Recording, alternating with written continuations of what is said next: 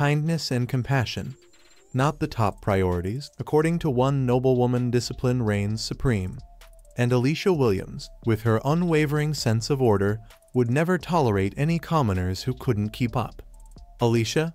Oh, she's the villainess in this girl's favorite otome game, known for tormenting the heroine. But rather than despising her, our protagonist admired her sharp tongue and relentless attitude. The heroine? Too sugary for her taste, what with her angelic smile and knack for manipulating the prince's feelings. While her friends dreamed of becoming the adored heroine, she knew that if given the chance, she'd much rather be the villainess. And then, it hit her she is the villainess. Reincarnated as the seven-year-old Alicia, daughter of the prestigious Williams family, she was no longer the meek child she once was. Instead, she saw this as her opportunity to be the most legendary villainess in history. Alicia darted down the hallway past her bewildered mother and maid. Gone was the lazy girl of yesterday. She had big plans, starting with sword training from her brothers. Henry, the stern one, scoffed, thinking it was another whim. Alan, the playful one, laughed it off as typical. Only sweet Albert agreed to teach her if she could complete 100 sit-ups and 50 push-ups daily for a week. No problem, she thought, as she dashed off. Next up, magic. Alicia knew that mastering the arcane arts, especially with her family's dark magic pedigree, was essential. However, the Williams library was surprisingly lacking in magic books. Undeterred, she grabbed a book on plants instead, figuring she'd need more than just magic to be the ultimate villainess. She learned about fever-curing herbs, glowing flowers, and flying trees. So engrossed was she in these strange new discoveries that she lost track of time. Who knew botany could be so villainously fun? Turns out Alicia's brain was top tier when it came to academics, but her body, not so much. After barely squeezing out 50 shaky push-ups, she realized physical prowess wasn't in the cards for her at least not naturally. But ambition waits for no one, so she kept pushing through. To her surprise, the next day, those push-ups and sit-ups were a breeze. By the end of seven days, she'd leveled up dramatically 300 push-ups, 500 sit-ups, and a library's worth of knowledge crammed into her head. She was a training machine, and her progress had the whole family on edge. Her father, Arnold, couldn't help but ask what had possessed her especially with the whole waking up early thing. Alicia, now radiating suspiciously good vibes, smiled and assured him she was just fine. She knew she was giving off major, plotting something evil energy, which only made her giddier. After all, no one would believe she remembered a past life as a villainous enthusiast. When her mother mentioned that Albert was out touring the Magic Academy preparing for his upcoming enrollment, it meant her sword training had to wait. But Alicia didn't let that slow her down. By the time her brothers returned, they were with all the other noble heirs who would soon be conquerable routes in the game. There was Eric of the Hudson family with fiery red hair and, of course, fire magic. Finn from the Smith family, a light magic prodigy. Gale of the Wind wielding Evans family, and Curtis from the Kenwood family with green magic an outlier not from the five great noble families. And then there was Prince Duke Seeker, heir to the throne, water magic user, and the guy destined to end up with the game's heroine in the good ending. Alicia. She was totally into him in her past life, but romance was for the heroine. She had bigger plans like making her mark as the world's greatest villainess. When Alicia ran up to greet them, her brothers introduced her to the group, who all found her adorable. Internally, she was melting at their good looks, but externally, this was her moment. She couldn't let the world's future villainess be seen as some bumbling child. With perfect grace, she curtsied, and the boys were genuinely impressed, especially since her brothers had painted her as a bit of a wild child. Duke, however, was less captivated, more focused on the boys showing off their sword skills. Cue Alicia, reminding them that today was the day they'd promised to teach her. Her brothers brushed her off clearly not taking her seriously. So, what did she do? She grabbed Albert's sword, kicked a tree, made a fruit fall, and sliced it in half with zero effort. Don't underestimate me, she declared, now basking in the astonished looks of her brothers. Duke, who had previously been aloof, was finally paying attention, picking up the sliced fruit with a smile. Looks like she'd made her impression. A year into her sword training, Alicia was still stuck in the endless loop of practice swings, all because her brother insisted swordsmanship was pointless if she couldn't hold a sword for hours on end. Honestly, if she weren't on a mission to become the world's greatest villainess, she'd have quit ages ago. The only silver lining. Prince Duke had been making regular visits to their house, and let's just say, she didn't mind the royal eye candy. One day, mid-break, Duke approached and casually asked if she was done for the day. It was the first time he'd spoken to her directly, which was a moment. She replied she was just resting, and he asked why she worked so hard at swordsmanship. She almost blurted out her grand plan to become a villainess but caught herself, instead saying, I'm aiming for a villainously strong grip. He chuckled nervously clearly not prepared for that, then patted her on the head, which instantly turned her into a flustered mess. Enter Albert, and Duke quickly stepped back, apologizing for interrupting her training. Albert wasn't buying it. Afterward, he grilled Duke on why he'd been hanging around so much lately. At first, he thought it was for the books, but now he was starting to suspect the prince had a thing for his little sister, who, of course, was already swooning. Meanwhile, King Luke was busy with the kingdom's VIPs, discussing the crumbling state of Lona Village. Apparently, living conditions there had been spiraling, but rushing in aid wasn't the best move politically.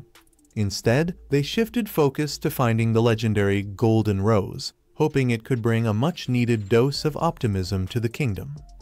The conversation eventually turned to Alicia, who had become quite the social butterfly, receiving invitations to various noble estates, her father, Arnold, still couldn't wrap his head around her sudden shift from being a self-centered little terror to a well-mannered, book-obsessed mystery. At one such tea party at Finn's estate, Alicia walked into the guest room only to find the whole otome game cast assembled and a suspicious map laid out before them. Panic set in was the plot fast forwarding to her character's exile already. Before she could spiral, King Luke himself entered the room, asking to speak with her. Seriously, what was going on? The king threw her a curvy ball, asking what she thought about the kingdom of Durkee's current state. At first, Alicia was confused why on earth would the king be asking an eight-year-old about politics. Then it clicked this was a villainous test. She channeled her inner mastermind, pointing out that while the kingdom was economically strong, the wealth gap between nobles and commoners was ridiculous. People in Lona, she noted, could barely afford bread. Tensions were high, and a rebellion seemed inevitable. The king, clearly intrigued, pushed further, asking how she'd fix it. Alicia didn't miss a beat, suggesting they fund Calvara's independence, gaining a strong trading partner without declaring war. A move that was cunning and, of course, something the pure-hearted heroine would never do. Alicia was feeling more villainous-like by the second. After some royal praise, the king made his exit, leaving Alicia to breathe a sigh of relief. Duke, having witnessed it all, asked if she was nervous. She glanced up at him, thinking, yep, definitely attractive. Elsewhere, Lord Evans dropped the bomb that the Golden Rose had been found. Things were getting real. Meanwhile, Alicia found herself at a dessert table, eagerly stacking macarons on her plate. Duke, who had been staring at her the entire time, couldn't hide his smile. Curtis teased him, remarking that the Ice Prince seemed to have been thawed by an unexpected spring breeze. Later, as the sun set, Duke handed Alicia a belated birthday gift a diamond necklace that left her absolutely floored. Diamonds were worth a fortune here, way more than in her old world.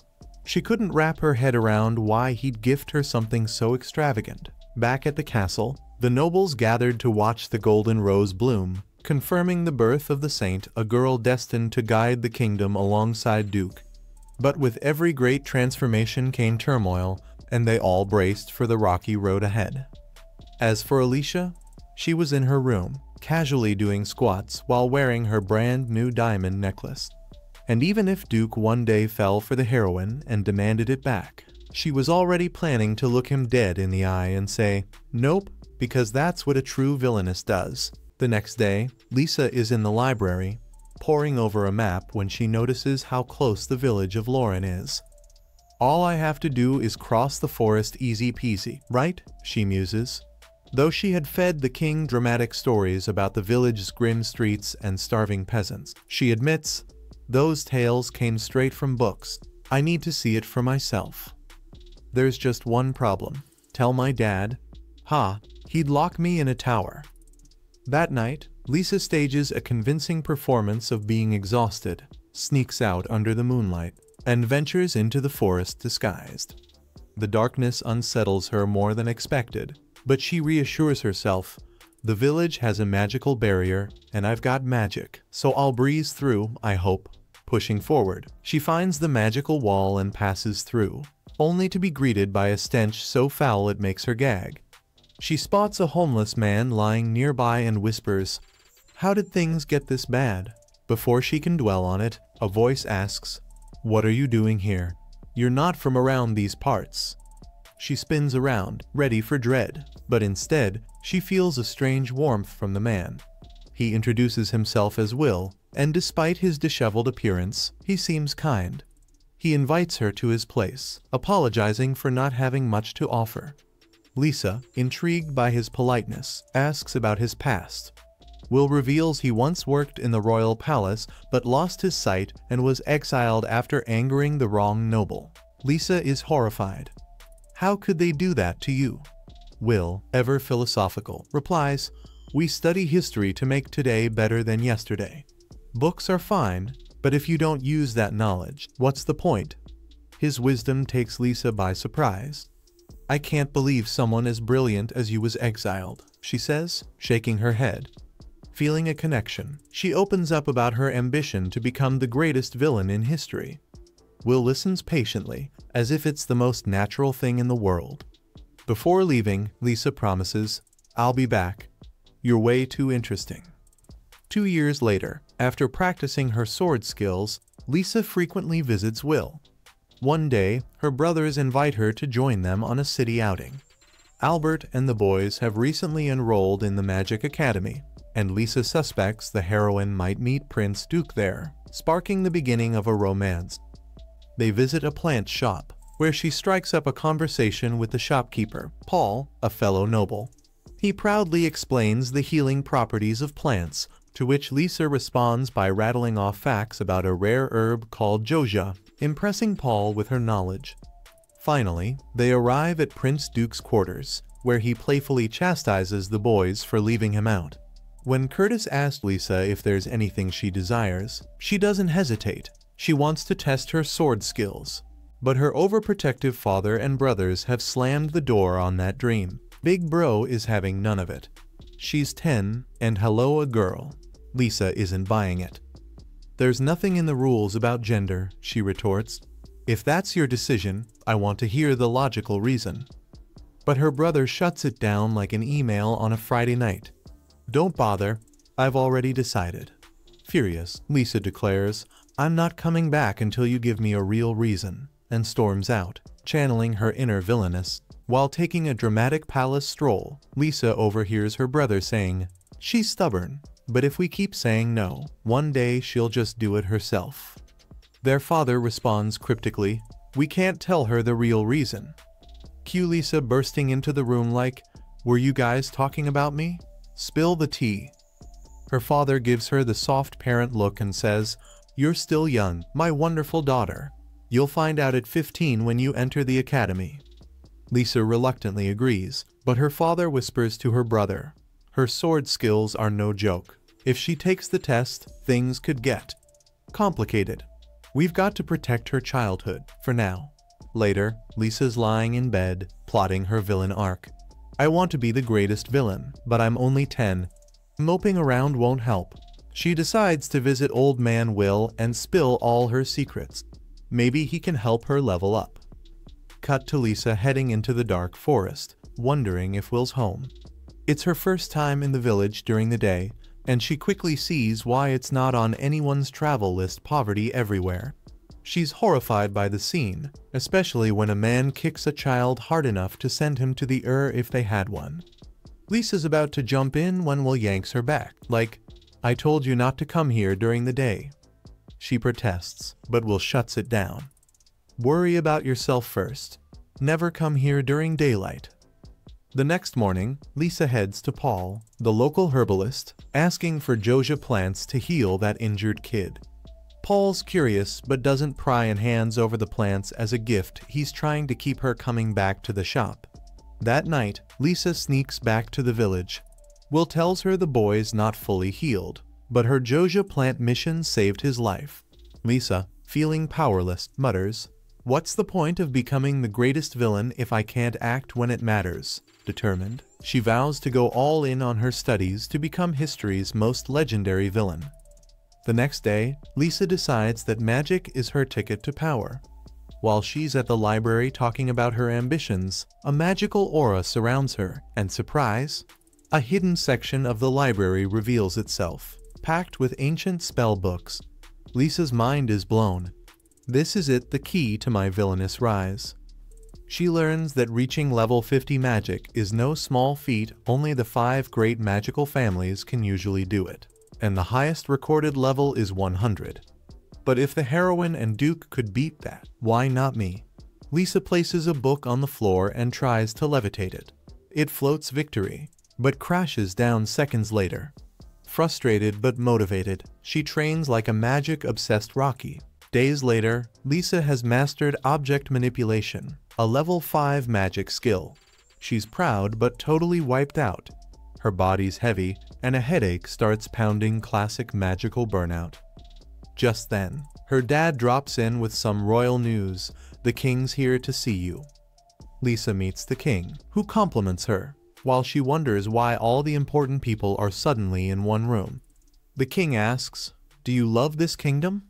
Lisa, caught off guard, gives her honest opinion, criticizing how the nobility works.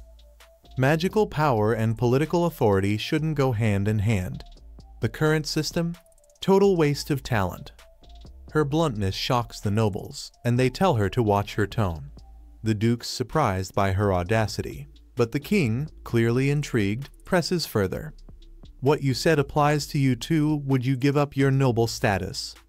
Lisa, totally unfazed, says, Sure, I'm cool with that. Being born into a noble family was just luck. No need to cling to it. The king is impressed. You're one of a kind, he says. As Lisa leaves, she reflects on the day's events. Exhausted, she plans to rest but promptly collapses with a fever. Duke rushes to her rescue, carrying her to her room and making sure she's taken care of. And that's how this episode wraps up. Want more? Hit subscribe and ring that notification bell to stay in the loop.